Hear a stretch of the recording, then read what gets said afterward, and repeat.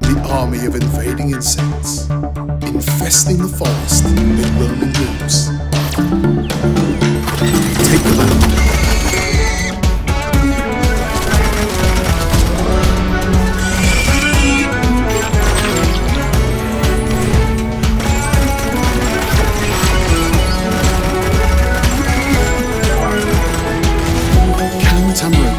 his way through before it's too late.